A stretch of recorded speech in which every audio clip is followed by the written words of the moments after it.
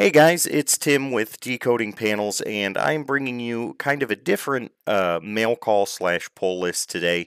Uh, I'm going to show you some of the books that I got out of uh, Walmart grab bags, those three pack uh, issue bags that you can get at Walmart uh, in the checkout area.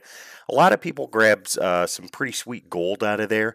Uh, I don't know if I did or not. I mean, some of the stuff I'm really interested in, but you guys let me know in the comment section below if I got anything worth keeping or investing more time into. Uh, but without further ado, I'll go ahead and show you the stuff that I got right off the top. This is called Aero number two. And I know Marvel puts in a lot of uh, second printings and, and stuff like that, and they mix in some variants and stuff in there.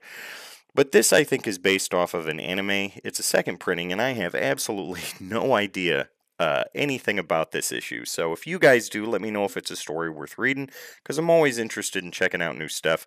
But uh, beyond that, I think this is going to go to my daughter because anime is something that she's interested in. So she'll get more joy out of it than I will. Uh, but moving on, let's go ahead and check out the second one. This is Yondu number two. Uh, it is not the Yondu that we know from the 70s, 80s, and 90s. This is the Yondu of the Ravengers, or the Ravagers from uh, Guardians of the Galaxy, James Gunn. Uh, and that's what he looks like right here. So, uh, yeah, Yondu number two. My son would love this, so I think that that book is going to go to him as well. Again, he'll get more joy out of it than I will because this isn't a particular title that I have any interest in.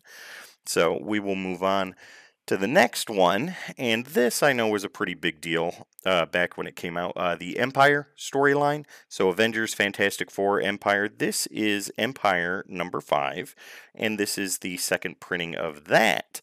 This is a story that I haven't read yet, but I definitely want to check it out. Uh, so I'm going to stick around with this, keep it, and uh, see if I can't get a hold of some other stuff uh, so I can read the whole story and figure out if it's uh, decent or not from there. Again, you know, if, if you guys know more than I do, let me know uh, so that way I can check some cool stuff out. Uh, this one I already have a copy of, and I'm going to keep this one because this is in better condition than uh, the one that I have.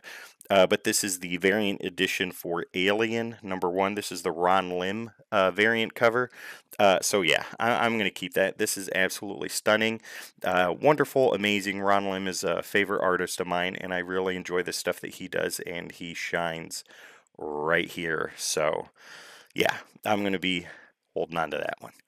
Uh, next on the list, this is something interesting. This is The Amazing Mary Jane, number six, and this is the variant issue. This is a land issue cover. Uh, I'm a big Spider Man fan, so uh, this is something that I'll hold on to. Uh, unless uh, the story doesn't grab me, and then I'll pass it along to my daughter because this is something that she should read uh, and get more excitement and enjoyment out of than I would. But I mean, it's a land cover, so you can't go wrong there. Uh, next, we have Black Widow, Widow Sting, number one. I am unsure if this is a variant or not. I think it is, but I don't know. Uh, yeah, so there's the issue for that Black Widow, Widow Sting number one. Again, this will probably go to my daughter. Uh, and and guys, it needs to be said that when I buy comic books, uh, especially with these grab bags and stuff like that, I don't buy them just for me. I've got two kids that uh, adore comics as much as I do, and they have their favorite characters. My son's favorite character is Hawkeye, particularly the uh, 80s rendition or the original costume with the you know the little purple wings and the, the blue and the purple and stuff like that. So I try and feed that every chance that I can. And my daughter has favorite characters too. She's a really big Harley Quinn fan, uh, as most girls are. Um, and and I don't that doesn't bother me because uh, any character is a segue into other characters and other stories. And if they start in one place, they will work their way to something different. So I'm very okay with that. Uh, moving on, the next one I have is Thor number nine, Legacy number 735. This is Donny Cates stuff, so I know it's going to be good. Uh, but I haven't read any single issues of Thor in a long time. Uh, so yeah, take a peek at that. That looks pretty sweet. I think that's just a regular cover. Uh, yeah, that's what it looks like. But it looks cool. This looks like the costume that uh, Thor was using in Fortnite. So there you go. Uh, next on the list is this is from the Gamerverse, Marvel Gamerverse, so probably the Avengers video game. This is Avengers Black Widow number one, and this also is a variant. And I really dig this cover. It's got Taskmaster on the cover, and I love Taskmaster as a villain. Uh, and uh, spoiler alert, I did enjoy Taskmaster's portrayal in the Black Widow movie. So, you know, there's that too. But uh, that looks absolutely fantastic. I love the way that that looks. It has the MCU classic costume, Taskmaster here, etc., etc. It looks looks absolutely fantastic. This is one I'll hold on to just for cover alone.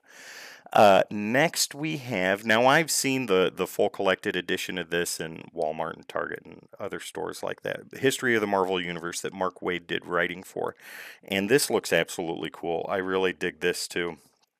So, yeah, that looks awesome. And you've got Captain Marvel, Miles Morales, Spider Man, Jane Foster, Thor, Ms. Marvel, and Black Panther there, and then Doctor Doom, Thanos.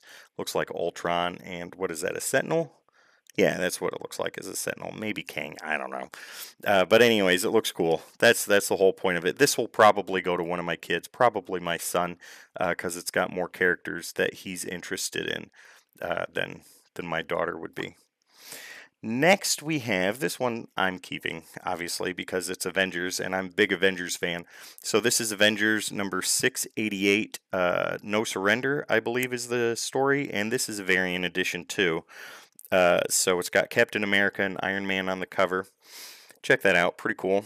I dig it. Uh, it'll go in with the Avengers collection, absolutely. I love the team books. Team books are really awesome to me uh, because of, you know, the whole point that they were made was so that way everybody's favorite characters or the most popular characters could all be in a title together and they could have adventures and save the world and, and do things that only the Justice League or the Titans or the Avengers or the X Men could do. You know what I mean? So there you go. And these two are always beating each other up. So, you know, nothing new there. but uh, moving on, this is one. Uh, now, this is a story that I'm just starting to get into. I've got a couple issues having to do with the story itself, but this is X of Swords. Uh, creation number one, part one of 22. This is Hickman. So uh, we all know how good X of Swords is with Hickman, and Hickman has been hitting grand slams with just about everything he's been writing. Uh, in recent memory. So, you know, there you go. X Swords creation number one.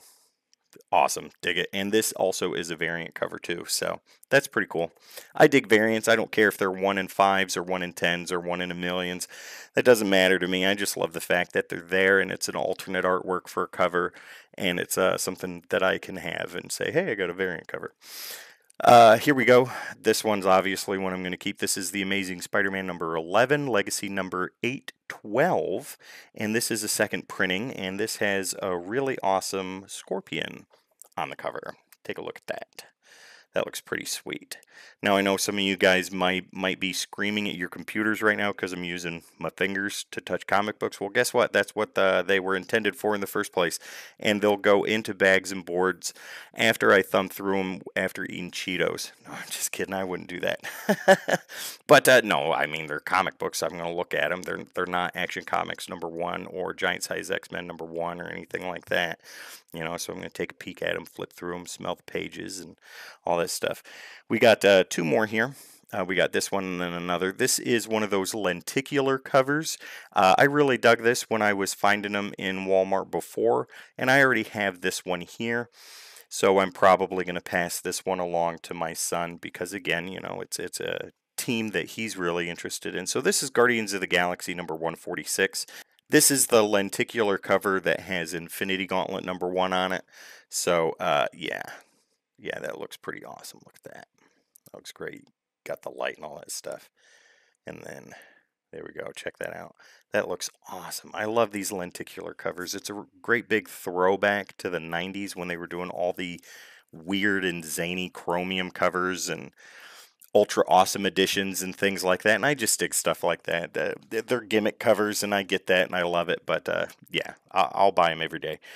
This one, this one I was really excited about that uh, I got out of those uh, three pack grab bags at Walmart. I bought four of them total, and I don't mind to do that every now and then just to see what I will get. And uh, I'm pretty happy with this because I've never had one before, and it's a sketch cover, so it's so it's a blank cover. So I'm going to take it to a convention whenever I can find one around here that I feel like going to, and I'm going to get something done on the front and on the back. But this is uh, House of M Secret Wars Variant Edition number one. This is a blank one. So I mean, yeah, if you guys know a super awesome artist uh, that may would like to do this, uh, have them get in contact with me through uh, Code-X, through either this page or anything else like that, and we'll talk and we'll see what we can do. But uh, yeah, blank, blank, and then uh, the cover itself, if you guys haven't seen that is right there. Now I haven't read this particular story from Secret Wars. I've read a few of them, and and it's hit and miss. But uh, some of them were really good. Uh, some of them were not that good. But Secret Wars itself was pretty awesome. And if you guys haven't read that, I highly recommend that you uh, get into that because it's a fantastic story.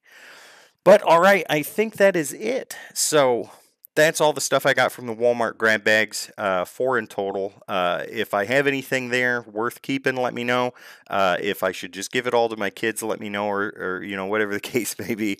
But uh, once again, you know, guys, um, if you haven't checked it out, go take a look at Decoding Panels. There's lots of cool stuff in there, uh, lots of cool stuff coming for Decoding Panels. And then obviously you have the Code-X podcast, and that comes out on Wednesdays on Twitch, which you guys need to check out if you haven't already. We have a great time time uh, sitting there talking comic book news and the Do You Knows, which is one of my favorite segments, uh, and stuff like that, and, and all kinds of other cool stuff. And we review a book every week. So go definitely check it out. And if you don't have time on Wednesdays on Twitch, uh, then you can always find it on Saturday when it's uploaded to YouTube.